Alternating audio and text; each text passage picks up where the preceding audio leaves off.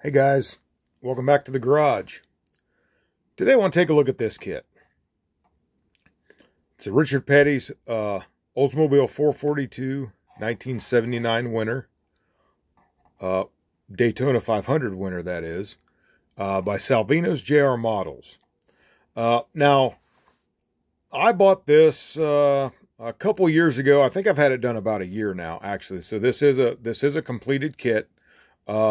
But what I wanted to do, I wanted to go over some of the issues, uh, small as they may have been, uh, but I want to go over a couple of the issues that I had and see if any of you guys have had any of the same issues or uh, if you haven't built this kit, maybe plan on building the kit, uh, maybe it would be a heads up to you if you decide to uh, go ahead and build it. But first of all, let's talk about this Salvino's name right here.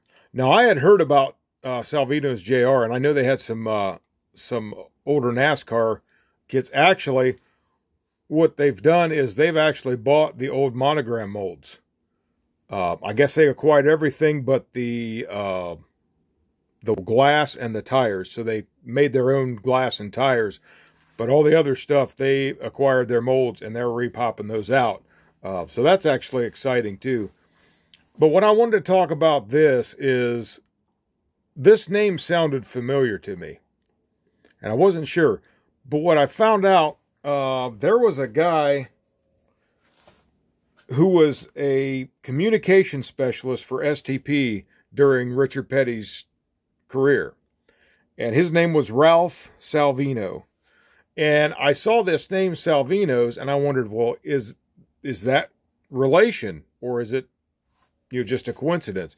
Well, I got to doing some digging and I did find out that yes, uh, Salvino's, and I believe this R, I believe that's that might stand for Rick because Rick Salvino was Ralph Salvino's son. And how this came to be about, I guess Rick Salvino in the Sun in 1989 uh, was starting a figurine company and he was looking for a sculptor. And so he was introduced to this guy, uh, Jim Rogers. And so they got together on that. And, and Jim Rogers, I guess it appears that he was a, a artist, uh, was sculpting licensed Disney and Lucasfilm, Warner Brothers things as, and that nature, as I understand it. So I thought that was a little interesting too. Uh, so they got together and then eventually they put together this model model car company. This is in 125th scale. And they got 18 years and older, and I can kind of see why, uh, because of some of the assembly and some of the slight assembly issues that I had with it uh, that I wanted to pass along and share with you guys. Uh, and the biggest thing, the biggest thing I had with overall assembly, and we're going to get, I want to talk about this other thing first here before I get to the body, because the body is actually one of the things that I had a problem with. So the first thing was actually the instructions. Now, at first, I mean, it's a nice instruction sheet, you know. You got, you know, the same picture there's on the box. And it's got a nice little write-up here about uh, Petty's career, you know, from his 200 uh, career wins, as over 700 top 10 finishes, 1,184 starts, 513 of those being consecutive from 71 to 89. So nice write-up on his history there. That's that's pretty cool. And then, of course, uh, there's your decal placement. Shows you, you know, what colors you need to have there for uh, to do it, you know, authentically. But the problem I had was when I got into the instructions. Now, they're not bad. Uh, this is no deal breaker by any means. But what I found out on this is these assembly, like these these dashed lines right here, get it up here where you can see that better than I'm talking about. These dashed lines. Now, the engine was really not a problem, you know. But when you get down into things like, like this one right here, like step six, just where these assembly, they all seem to be off. Like this one's kind of out here, just kind of in limbo, and you're kind of left scratching your head as to, well, what is it talking about? So you kind of rely on this other side that they've got in place already. Uh, now these here, these here are pretty good. Like, see, this one's off, that one's off, but you know where that's supposed to go. Uh, so, like I said, it's not a deal breaker. They're not bad instructions. Uh, but it kind of put me in mind as I was going along, like, you know, like the uh, old AMT big rig instructions. Uh, weren't, didn't have the greatest clarity. But there's something I'm going to talk about here in just a few minutes that will actually be addressing this issue. And it may be changed by now. I don't know. I haven't I haven't got a recent kit from them. So, uh, but we'll get into that. But into the part that I was uh, getting at is on mine. Now I did all my prep work and I had all the chassis done pretty much, you know, after I got through the instructions, which what again I say wasn't terrible, but it had its issues with me. Uh, but the issue that I had with mine was I got the body all done. I had all the paint work done. You know, the blue was on, had the clear coat on it. It was really, it was looking good. The only thing I didn't have the decals on yet, fortunately, uh, because it tends to be the me that I do the decals the very last thing. So I mean, I looked at the I looked at the kit beforehand when I did my prep, and everything was looking good, but I didn't look close enough. So what happened is I set the body on to get a fitment to the chassis, and like everything was fitting up really nice. And so I final assemblies. When I went to put the windows in, now the windows are fine. Uh, they're they're really sharp, clear, uh, really nice pieces. But my problem was this A pillar on the passenger side and pretty much all the way up through here and even this pillar, they were warped. And so the windows were not fitting and I tried nine ways to Sunday to try to straighten these out. I mean, it just wasn't working. I mean, sometimes you put just a little bit like a I think I took a hair dryer or something to it and it just nothing I did worked because I think it had a, actually it had an arch in the top completely that maybe you didn't see just by looking at it, but once you really started getting in there to fit things up, you really noticed it. So uh, what I did was, is their number was on the instruction sheet. So I gave them a call. Now I bought this kit off of eBay and it was sealed, uh, but I didn't buy it directly from these guys. So what I did is I called and I talked to one of these guys, uh, really nice guys to work with. And I called him, I told him, told him the issue. Hey, I bought this kit, you know, I bought it off eBay, not directly from you guys, but I got an issue with the pillars uh, on the windshield and they're warped. Is Can you help me out? Is there a way I could get a replacement body? So he told me, email me a picture of what you're talking about and we'll take a look at it and we'll see about getting you a replacement body. So I had mentioned something about the windshield got kind of messed up in the process of trying to get it to fit right. So he corresponded back to me and said he was sending out a body in the mail. So I got the body in the mail. Not only did I get a body, I got a windshield and a back glass. Now, I never said anything about the back glass, but they sent both of them. Uh, so really, really good. Great, great customer service. I was really impressed with that. Uh, so uh, if you do get one of these and have an issue, I don't think you're going to have a problem uh, getting replacement parts. And so what I want to do now is I'm just going to go ahead and reveal this. Because I said, I've got this done. So I'm just going to pull this box. Oh, first, before I do that, I wanted to show you this. That I thought this was interesting on the chrome tree. Okay, now, uh, this is some, this is a heavy tree uh, because this is actually this is actually uh, metal chrome plated. Uh, it's actually got a little bit of magnetism to it, so I thought that was pretty cool. Uh, you it comes with an extra set of wheels, and this bumper and grill, I believe it's from the uh, the older style Monte Carlo and it it must be and there was actually a, another there's like a third bumper on here one, two, there was a third bumper on here uh, that was not for this car. So I think they just must cast, and I don't know if all the kits are like this, uh, if all their Oldsmobiles are like it or their other Monte Carlos are like that, but they must cast everything together and just throw it in the box with every kit they've got. But I don't know that for a fact. But so this looks like the Monte Carlo. And if I would have to guess, I would say this is probably a Grand Prix. I could be wrong on that too, but it almost looks like a Grand Prix. So that was just pretty interesting. And this thing's got some big honking bumpers on it. Uh, so they're really stout.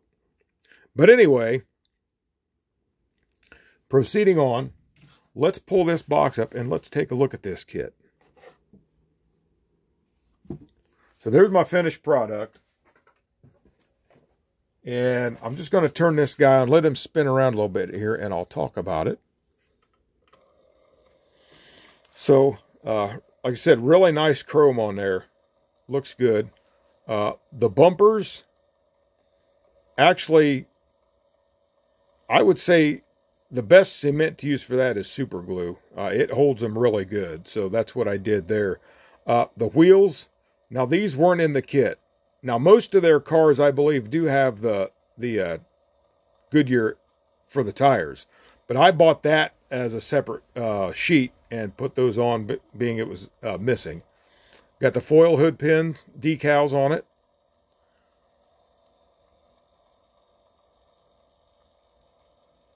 And just all your other uh, contingencies here. STP back there. Really, really nice decals. Now, these are power slide decals, and these guys are awesome. If you haven't used the power slide, they're really good. Um, Mike's decals uh, has a lot of power slide options for a lot of different cars. So uh, that's a good source. I get a lot of my uh, decals uh, from Mike's if I'm going to be doing a, a, a separate build. But we'll turn this guy, let him get spun back around here, and I'm going to shut this off. And then we'll pop this hood. I'll just let you take a look underneath the hood here. I'll pull them up closer to you there. So, engine compartment there. I'm going to knock the camera off the stand. Look at me. And now this is a aftermarket distributor. This is a, a Morgan Automotive.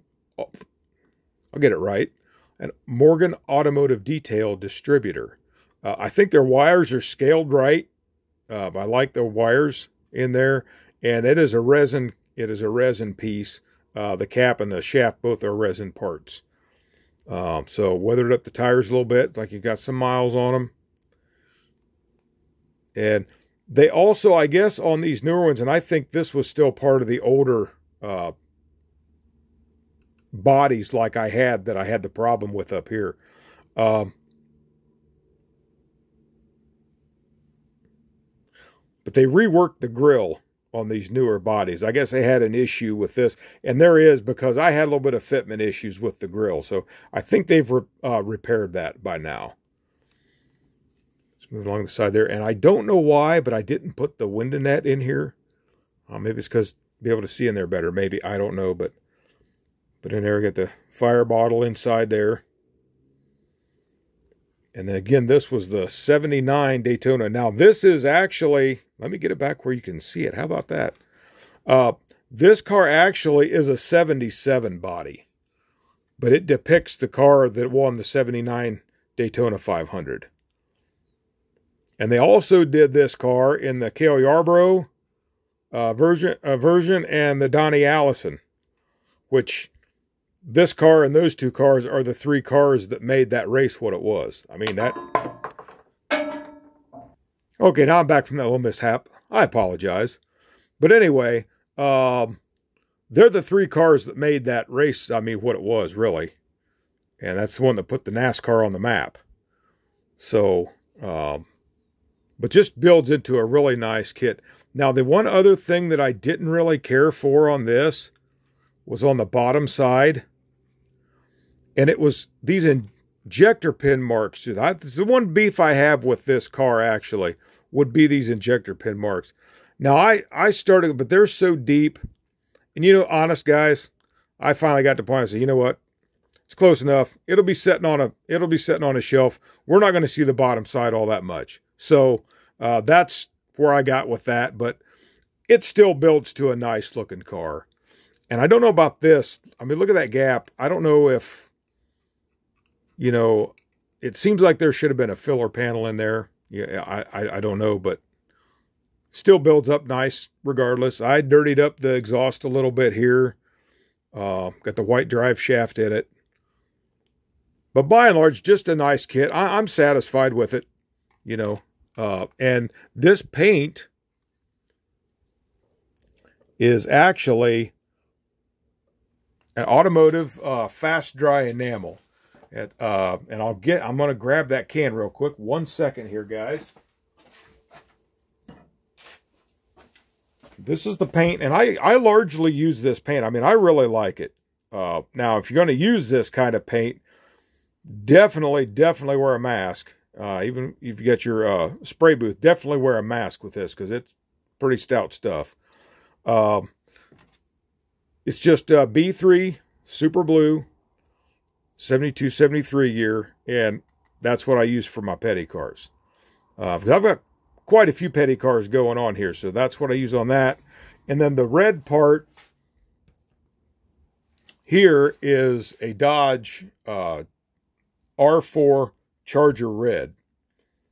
So it's a really nice, uh, and it doesn't, it's not that far off. I mean, if you look at the box there, we'll tilt that up a little bit. That's actually a pretty good match. So that's what I found with that uh, to be a good color for that.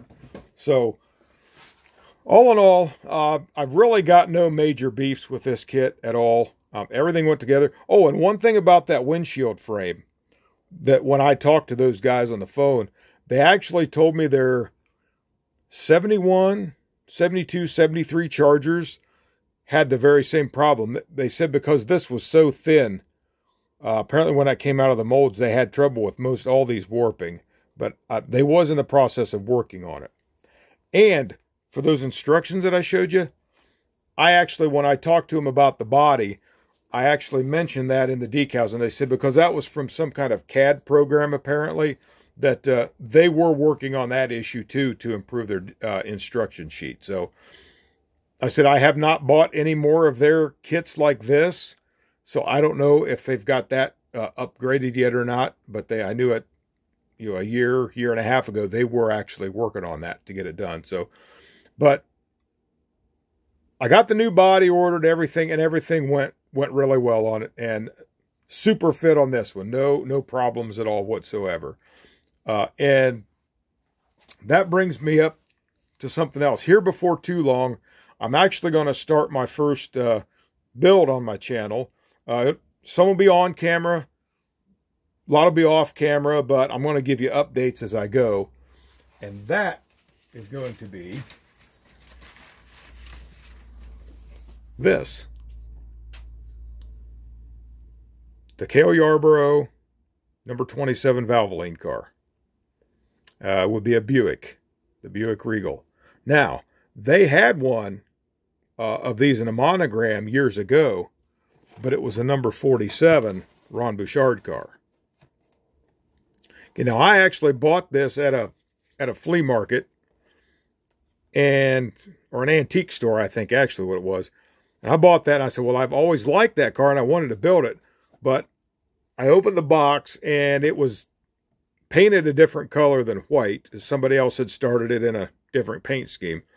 Uh, but the decals were roached in it. They had gotten all wet and just ruined, so there was no way to do that. So I started scrolling Mike's decals for these decals. And I don't know why I didn't come across the, the Valvoline number 27 at that time, but I come across some uh, Darrell Waltrip decals, uh, the Mountain Dew. So I ended up doing a Mountain Dew car. And one of these days I'll bring it out and throw it on the bench and we'll take a look at it. But anyway, that's going to be my first uh, my first build. And they give you the option to do 1981 version or the 1982 version. So just very minor differences uh, between those two. So that's going to be my build. And we'll do that here uh, in a couple videos. I got a four-part series coming up here uh, I think on the next video that you see will be part one of a four-part series. Uh, some really cool stuff. I think you're gonna. I think you're gonna like it. Uh, so, with that, I think that's about all I had. I think this video is about ready to wrap up for today. So, uh, As I wrap up here, uh, be sure to like and subscribe for more content like this. If you like the channel, uh, come on back. And I tell you what, I'd love to see some pictures of you guys' builds uh, as well. So if you'd be interested in sharing some of your builds with me, uh, go ahead and hit me up at the email address in the description. Uh, can't wait to hear from you guys. I'd like to see what you got. Uh, share it. And until next time, this is Eric from Eric's Model Garage. Uh, you guys have a great day. God bless and happy modeling.